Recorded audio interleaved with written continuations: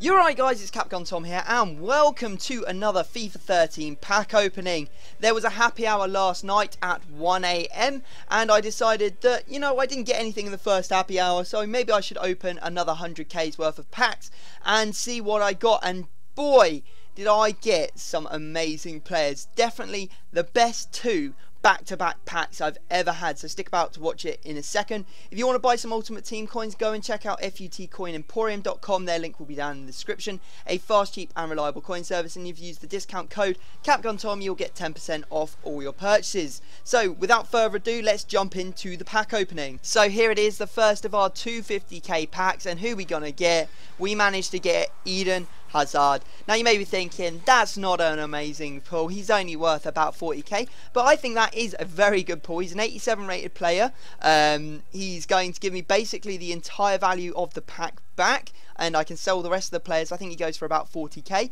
and if I was pulling that, on FIFA 14 in about a week's time or two weeks time whenever you're able to open packs on the on uh, FIFA 14 Ultimate Team you'd be like holy crap that thing goes for a ton. Because Eden Hazard is going to go for a lot of coins. And at the start of FIFA 13 it was the same. He went for well over 100k I think he was going for about 120k we also got Keres as well. Uh, he's going to be a centre back on FIFA 14 so he'll be going for quite a lot on FIFA 14 so very happy about that pack. You may be wondering you know that's one good pack um, why are you showing this this you must be getting something good in the next pack, and hell yes, I am.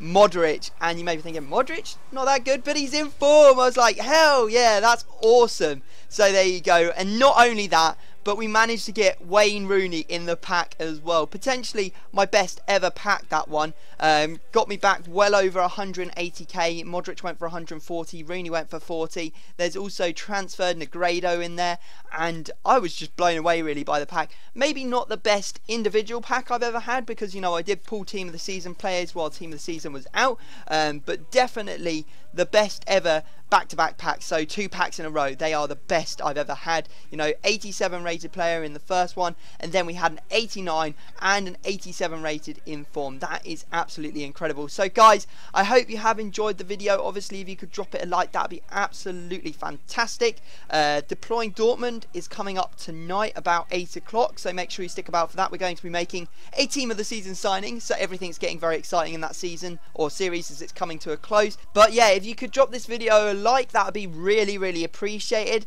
Um, subscribe if you're not already. But other than that, I'm going to have to stop talking. I will leave it there, and I will see you all next time.